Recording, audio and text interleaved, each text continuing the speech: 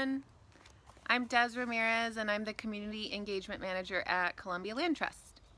Uh, I'm in my garden in Northeast Cully in Portland and I am going to read you a poem by native poet Jennifer Elise Foerster and she is from the Muskogee Creek Nation and it's from this book, New Poets of Native Nations and this poem is called Canyon.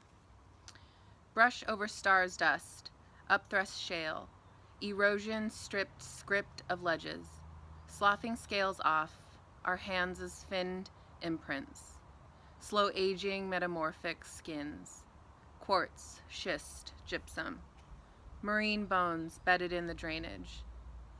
The basin overflows with wind, horizon, phantom barges, a shore once lush with cane, moon, a relic in the azure sky, gray face cut from the mountain's spine.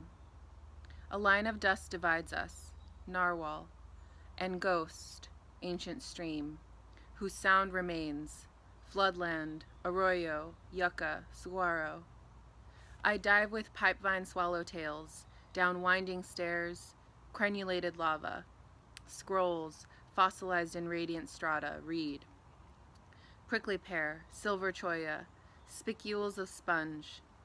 Here in this rain shadow's stark, flanked gully, two blue-bellied lizards streak across sand, vanish, inside a conch shell, arrived, at the bottom of the world, I write. Buried in the canyons, spiraled larynx, a raft for the coming storm. Happy Earth Day!